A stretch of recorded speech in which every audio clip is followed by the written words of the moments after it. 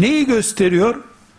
Bu ümmetin çocuğu ümmeti Muhammed'in içinde yetişmiş kaliteli bir çocuk yani Kur'an standartlarında yetişmiş bir çocuk babasının evliliğine 10 sene 20 sene kala duası başlanmış bir çocuktur.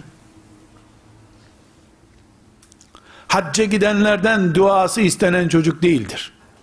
O acil vaka. Bizim doğurduğumuz çocuklarımızın on binlerce kere melekler tarafından kaydedilmiş duaları olması gerekiyor.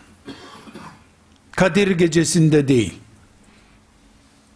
Namazdan sonra bir gün hazır rahatım misafir yok deyip seccadenin başına geçtikten sonra Yasin-i Şerif okuduktan sonra bir hatim yaptıktan sonra Kabe'ye gittiğinde gözlerin yaşlı bir anında bir camide yatsı namazını bekliyorsun ezana beş dakika var. O zaman iki mümin bir araya geldin muhabbet ediyorsun gündem bitti sen benim çocuklarıma ben senin çocuklarına birbirimizin eşlerine haydi buyur bir dua edelim.